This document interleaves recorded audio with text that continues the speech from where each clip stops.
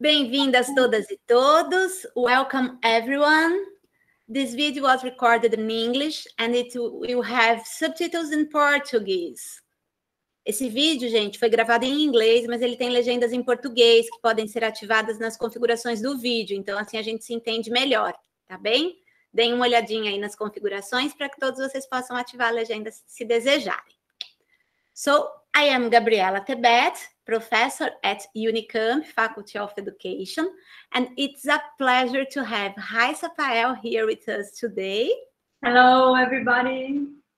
So I'm Rhaisa. Nice to meet you all. It's a pleasure for me to be here too. Nice. Thank you, Gabriela. Rhaisa is assistant collaborating researcher in the graduate program in education at the University of Brasilia and will interview with me the professor Marianne Undheim, who is associate professor at the Department of Early Childhood Education of Faculty of Arts and Education in University of Stavanger, Norway. Hi, Marianne. Hi, happy to be here. Thanks for asking me. Mm. It's a pleasure for us to have you here today and to have our dear audience with us once again. Well, so I will invite Rhaisa to start the new topic. Should it be?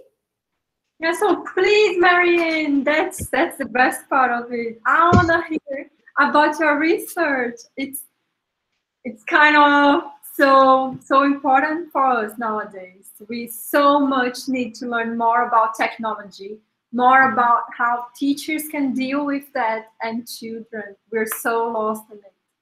So please. Thank you.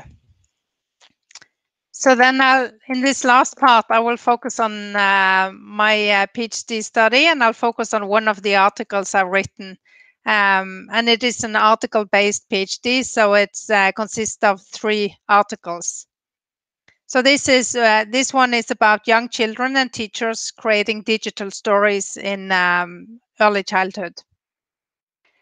So the article Teachers Pedagogical Strategies when Creating Digital Stories with Young Children is written with together with uh, Margrethe Jernes and it's published as open access.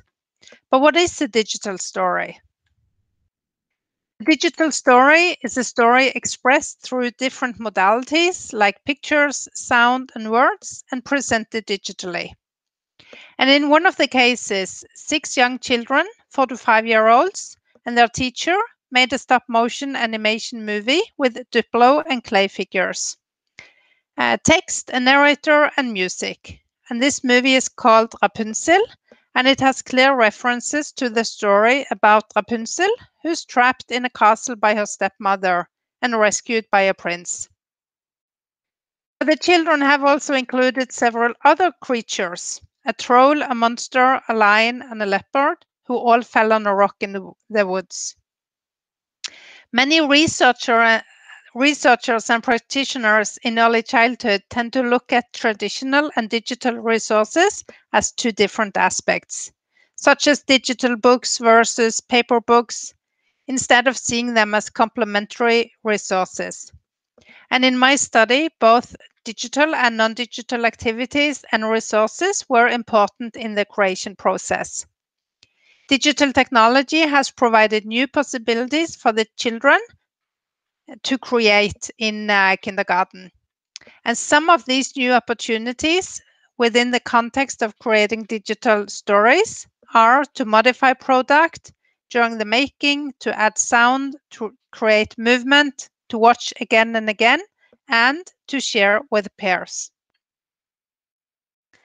Children's and teachers' creative exploration and inventive use of digital technology is highlighted in the Norwegian Framework Plan for kindergartens. The pedagogical and creative aspects of using digital technology with the children are emphasized. Digital practices in kindergarten shall encourage the children to play, be creative, and learn. And stories have a long tradition in Norwegian kindergartens, but the children shall also be, be encouraged to be active and create their own cultural expressions. And I look at the process of creating digital stories with children as valuable opportunities for children to gain first-hand experiences with creative and inventive use of technology and digital literacy. There has been an increasing number of empirical studies of young children and digital technology during the last decade. Still, several researchers call for more research of young children's creation with digital technology and children's digital stories. Further, during my search for previous research, I mostly found studies in which children in early childhood education and care create store, digital stories individually or in pairs. Groups of children making digital stories together are less common. Further, few of the studies focus on the entire process of creating digital stories. Most studies that I found focus on only parts of the process, mostly the digital activities. So my study is a qualitative multiple case study with two cases where I focus on observable contemporary events in situ to provide an in-depth exploration of what is happening when groups of young children and a teacher together create digital stories. A technology-mediated story creation process can be understood as a creative process in which a group of children create something together by using digital technology as a tool or a medium and they have participated in the whole process from the first inspiration to the finished pro uh, product. And in this case, and then created an animated story. And I emphasize digital technology as a tool to create, by which the children and the teachers are the creators or producers of products uh, to be shared with others. And both cases in my study started with a shared reading activity with a picture book app to inspire the children to create their own story and ended with a display of the final products. And then the children were sharing what they had made. And in between, there were many different activities, such as creating the narrative, creating props, animating, recording sound, editing, and watching the movie. And the teachers were responsible for these different activities, while I participated as an observer, took notes, and video recorded activities. The study was approved by the Norwegian Center for Research Data, and all participants, the teachers, the parents, and the children, have provided their informed consent. This article's research question is what pedagogical strategies are in use by two kindergarten teachers when they create technology-mediated stories with groups of children? With a focus on collaborative creation processes, we look at social cultural perspectives as a valuable theoretical framework. This includes guided interaction, sustained shared thinking, and spacious and interactional patterns. Spacious and narrow interactional patterns. And the research question indicate an open approach to the empirical material with a focus on the teacher's pedagogical strategies of how to involve the children in the process. The analysis was performed inductively across the two cases, inspired by grounded theory, by constant comparison analysis. I started by exploring the empirical material, what is happening, and then I added theory.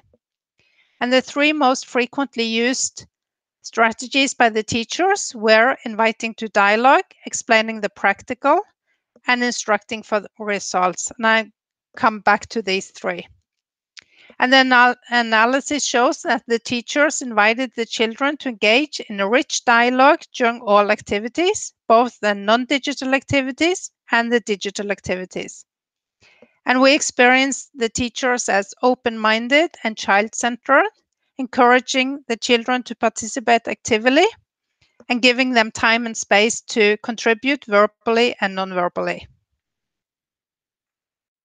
So in the Rapunzel case, where they created their animated story, the children created the narrative before they started to animate. But there were still many choices to make during the process. The teacher encouraged the children to animate the narrative they the way they wanted. And during the animation activity, the teacher sometimes invited the children to dialogue by encouraging them to make a choice about where to move the characters. Where are they going now? the teacher asked. I'm going in that direction, the child replied and moved the lion a step towards himself. Very often, the children responded verbally and non-verbally to the teacher's questions, as this uh, example show.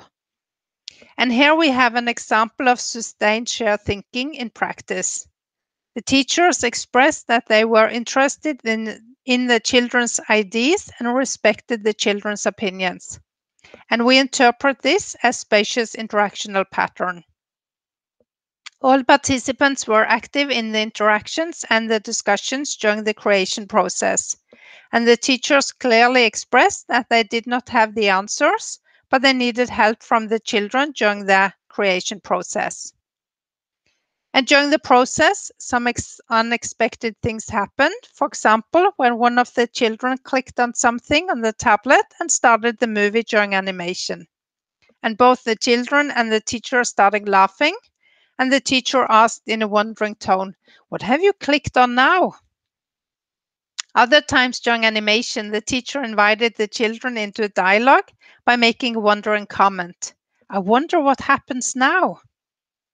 And the teachers deliberately invited the children to dialogue in non digital and digital activities. And these findings might have been identified because the digital activities were part of a collaborative process in which the participants created a product together. The activity animation, one of the most frequent strategies used were explaining. Explaining was also a common strategy in the digital activities sound and product, but less common in the non-digital activities, creating props and creating narrative. And during the animation activity, the teacher often invited the children to dialogue about the activity by explaining what was happening.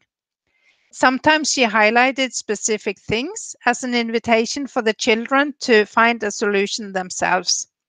Other times, the ne children needed help to see whether the characters were actually move, uh, showing in the picture or not, uh, or needed a reminder that one of the children was still visible in the picture. As you can see in this uh, illustration, the teacher sat next to the child taking the photos, looking at the tablet during the process. And the children moving the characters were not able to see what was visible in the picture unless they move towards the tablet. So sometimes the teacher helped the children by explaining how far they could move the characters. And the child standing by the tablet takes the picture. Then you can move the monster a little, not much, just a little, the teacher says and the child laying on the floor and moves the, the monster a little. And then the child walks towards the tablet to see how it looks, and the other child takes a picture. Great, the teacher says. And we interpret this as scaffolding the children in the activities. And our, our overall impression is that the teachers were active and proximal teachers also when explaining the practical. The teachers involved the children in the process by first explaining and showing and then letting them do it themselves. So with Dewey's concept of interpretation and guidance, we interpret the teachers to be able to observe the situation and the children and act in a response to them. They were able to regulate when uh, explanation was needed. What is interesting is that there seems to be a larger focus on learning when the teacher used explaining as a strategy to involve the children, as opposed to when they used inviting. The teachers had a broader view of the creation process. They knew where, where they were going, kind of, um, and took the role as the person in charge, but more in some activities than in others. And the activity had a clearly defined goal, and that was to create a digital story. Uh, instructing for result was also a frequent strategy during the activity animation, but was hardly used in the other activities. And when the teachers explained something to the children, they told them what to do and why. But sometimes they also instructed the children by telling them what to do without any explanation. This was mostly done after the teachers had already explained to the children what to do and why. And typical ways of giving instructions were, oh, there, oh, wait, we have to wait. Then you stop, you picture, and no, you, you must move out of the picture. And the children did as the teacher told them, and the children seemed to accept their instructions. The children seem to recognize the teacher's communication in situ as meaningful and relevant. So, giving instructions is also part of scaffolding. The teachers took responsibility and control of the situation and instructing is a central part of proximal guided interaction and can be described as a narrow interactional pattern and thus as a necessary part of the process.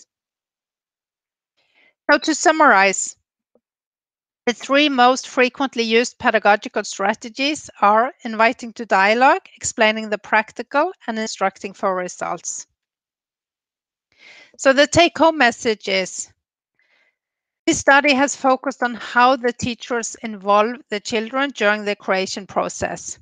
The findings show that the creation of digital stories is a complex process in which the teachers use several pedagogical strategies to involve the children. And these are equally important for the process and the product. An encouraging tone characterized the situations when the teachers invited the children to dialogue, explained the practical, and instructed for results. And a combination of spacious and in narrow interactional patterns during the making seems to be necessary to finalize the product to be to create a digital story. In contrast to findings from other studies, we found mostly proximal guided interaction in this study. The teachers worked mostly directly with the children, and this can be seen in relation to the children teachers' focus on children's participation, which is regulated in the Norwegian Kindergarten Act. In response to the call for more, more focus on the youngest children's creation with digital technology, the study complements other studies in the field by emphasizing the collaborative creative process. The research findings contribute to knowledge of how teachers involve the children in a digital creation process. Here are my references. And at this QR code, you'll find a link to the articles and my PhD. Thank you. Thank you, Marianne. Thank you very, very much. And first of all, I want to congratulate you for the research so interesting that you developed. And uh, I want to tell our audience, I will put here in the video descriptions these references you you quoted. So for those who want to know more about your project, just go in the description. Uh, so, uh, well, Marianne, it's amazing the way you bring children to another place in curriculum, not just listening stories, but also producing it. So it's really amazing and necessary, I think, new ways of seeing children in our pedagogical practice, not just as passive, but as social actors. So congratulations again for your work. And Thank I will you. start bringing a question done by Bruna Santos, our student. She read the paper We Need Sound Too, Children and Teachers Creating Multimodal Digital Stories Together. And through the test, you talk about the professional digital competence of teachers. You say they expressed a lack of knowledge on how to include digital technology in their pedagogical practice. And then you inform that you developed and offer a workshop for teachers with a focus on how to create digital story. So Bruna asked if do you think just a workshop is sufficient for the teachers to include in his pedagogical, his and her pedagogical practices, the use of technology with children, and if you believe that teachers in undergraduate should also have this type of training? Um, a workshop is not enough, but a, a workshop helps. So um, these teachers, um, some of them uh, had used some technology, but some of them had not. Um, most people today, at least in Norway, are we use technology all the time, but then it's not that common to use the technology in the kindergartens. Um, so in this case, a workshop was enough to get going and to start. And of course, since it was a research project and I was there with them all the time, I guess that also, even though I didn't help them, still it is, it is, they're kind of getting um, uh, support by just being there and uh, taking part in this uh, research project. Um, so what we do uh, is that uh, within the early childhood teacher education, we have um, digital technology and digital competence as themes. So right after Easter, uh, we'll have a project week. It should be physical, but now the university, because of COVID 19, is will be closed at that time. So we'll do it digitally. So we'll have some digital um, uh, teaching of how to use technology, and I'll show them, yeah, by using camera and stuff.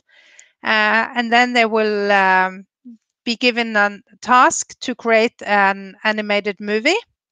And because they were a lot of them will stay at home and don't have the possibility to borrow the equipment that then they usually could uh, i'll teach them how to use just a phone and create digital stories just by using their phone and make it very easy uh, but just to to learn how to do it and then we'll have a session where we'll share uh, each other's experiences in terms of how to use the technology.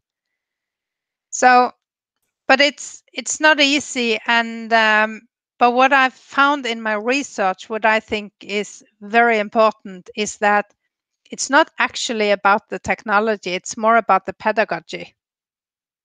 Just to start using it, uh, like you use books, like you use other uh, materials, and it's not about using it a whole lot, but just using it for small smaller project.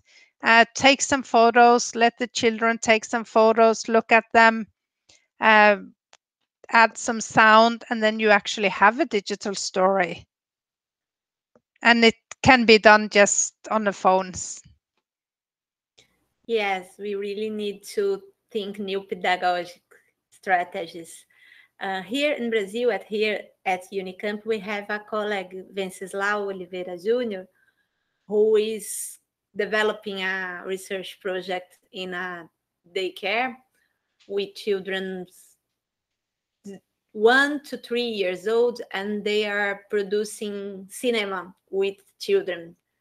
Uh, so it's very interesting how we can create new strategies, new approaches, mm. and uh, we need to to go behind the box that's it it's it's nice to to find papers and uh, projects that put us to think news in our practice Thank you. and you. what I, what I also wrote about in that specific article is the combination of the digital and the non-digital so that you actually see them as complementary resources. So you can draw a drawing on with pen and paper and then take a photo of it and then add some sound and you actually have a story.